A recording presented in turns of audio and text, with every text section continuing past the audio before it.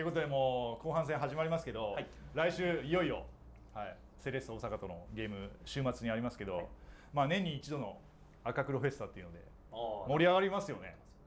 多分おもう何万人も多分3万人は入ってくれるんじゃないかな。と入ってほしいですね。ですね。やっぱ入った中とこう少ない中どうどうですか？やってて。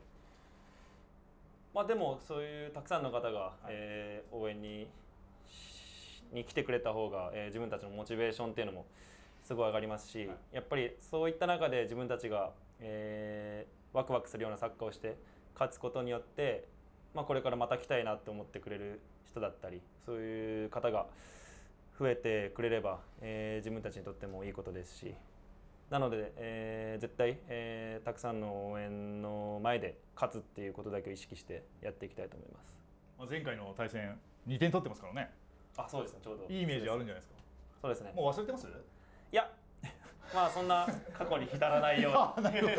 あ もう今は今ここからまた違った金子拓郎を見せると、またえー得点できるように、まあ得点にこだわらずアシストでも、まあ他の部分でもチームの勝利に貢献するっていうことを第一に頑張りたいと思います。小野選手あのセレッソ大阪といえば香川選手がいますけどよく知ってるんじゃないですか？どうどうですか？いやまあ知ってはいるんですけど別にそんなに連絡取るとかそういうのではないですし、まあ本当にあの日本に帰ってきてからも、はい。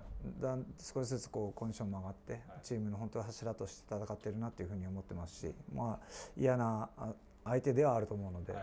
まあそこうちのね選手も彼一人だけでサッカーやってるわけでもないですしあのチーム全体としていい守備をしながら、えー、松木も言いましたけどいい攻撃自分たちの時間を作りながらはい。いいものを見たいですね。はい。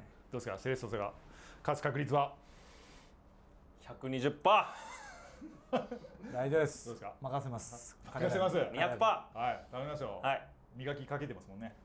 かけてます。両足。もっとかけます。はい僕は止めますけどねいやまたかまたか。最終的にそこなんだよ。いやでもまたあの懲りずにこのあの本当にはいや,、やりましょう。やって、そうだね。一回負けたら本当もうこれ言えないよ 特別企いやまあまあまあ画。一言も言っちゃいけないっていう。そうですかはい。取ったらあの言って大丈夫です。はい そっかじゃあボール入ってからじゃなくて入る前から始めていいですよ。だだからだから裏裏を取られないで小野さんがボール持ってて、そこから始まって。オフサイドはあるんだよ。あラインをね。ラインはある。からそれもある。オッケーオッケーオッケー。それやってから。怖いな。そうだね前から取られる。食いついたところ。うまいからな内側取られたりね。まあでもあのこの、お覚えてますかこれこれこれ。キックオフ。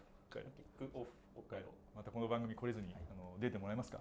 もちろん、はい。よろしくお願いしまはい。す。お願いします。あの僕あのレギュラーなので。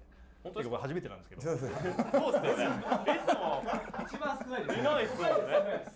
これ初めてなんですけどやっぱりやっぱりこれもやっぱり何の番組だっけと思って。だ大事ですからやっぱり。だよもちろんやっぱ検索さんが来てくれて本当に。本当に。またいろんな選手も登場すると思うのでその時も。よろしくお願いします。します。ありがとうございました。ありがとうございました。ありがとうございました。